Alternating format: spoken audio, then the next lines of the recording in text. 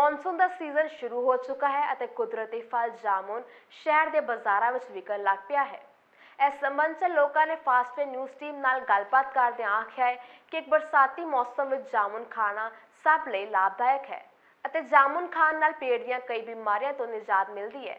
ਇਸ ਲਈ ਸਾਨੂੰ ਸਾਰਿਆਂ ਨੂੰ ਜਿੰਨਾ ਜ਼ਿਆਦਾ ਹੋ ਸਕੇ ਜਾਮੁਨ ਖਾਣਾ ਚਾਹੀਦਾ ਹੈ ਤਾਂ ਜੋ ਬਿਮਾਰੀਆਂ ਤੋਂ ਆਪਣੇ ਆਪ ਨੂੰ ਬਚਾਇਆ ਜਾ ਸਕੇ। ਦੇਖੋ ਜੀ, ਜਾਮੁਨ ਬਹੁਤ ਵਧੀਆ ਇੱਕ ਹੈਗਾ ਵੈ ਫਰੂਟ ਜਿਹਦੇ ਨਾਲ ਸਾਡੇ ਪੇਟ ਦੀਆਂ ਬਿਮਾਰੀਆਂ ਸ਼ੂਗਰ ਵਾਸਤੇ, ਗਰਮੀ ਵਾਸਤੇ, ਇਹ ਚੀਜ਼ ਵਾਸਤੇ ਬਹੁਤ ਵਧੀਆ ਹੈਗਾ ਤੇ ਨਾਲੇ ਬਹੁਤ ਵਧੀਆ ਇੱਕ ਇਹ ਚੀਜ਼ ਮੰਨੀ ਗਈ ਹੈ ਫ- ਜਾਮੁਨ।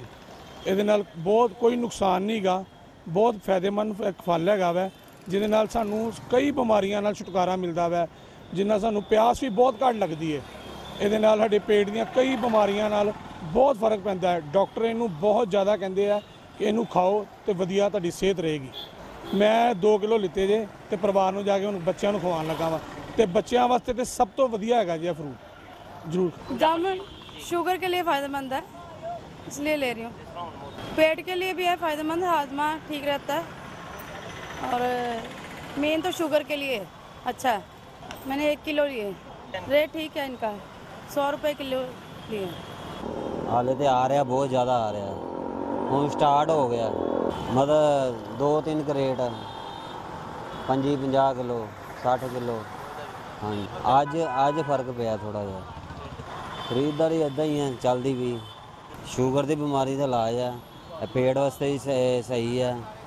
ਹੋਰ ਬੜੇ ਫਾਇਦੇ ਆ ਇਹਦੇ। ਨਹੀਂ, ਇਹਦੇ ਕੋਈ ਦਵਾਈ ਦੂਈ ਨਹੀਂ ਲੱਗਦੀ ਕੁਝ ਨਹੀਂ ਲੱਗਦਾ।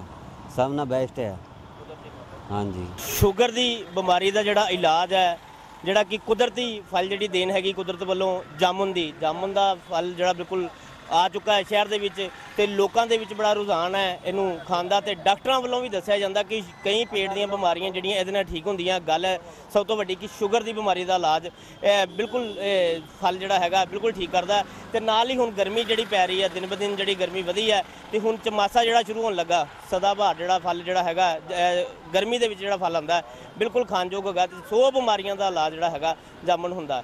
ਕੈਮਰਾ ਪਰਸਨ ਰਮਨ ਕੁਮਾਰ ਜੀ ਦੇ ਨਾਲ ਸੁਸ਼ੀਲ ਸ਼ਰਮਾ ਫਾਸਟਵੇ ਨਿਊਜ਼ ਅੰਮ੍ਰਿਤਸਰ।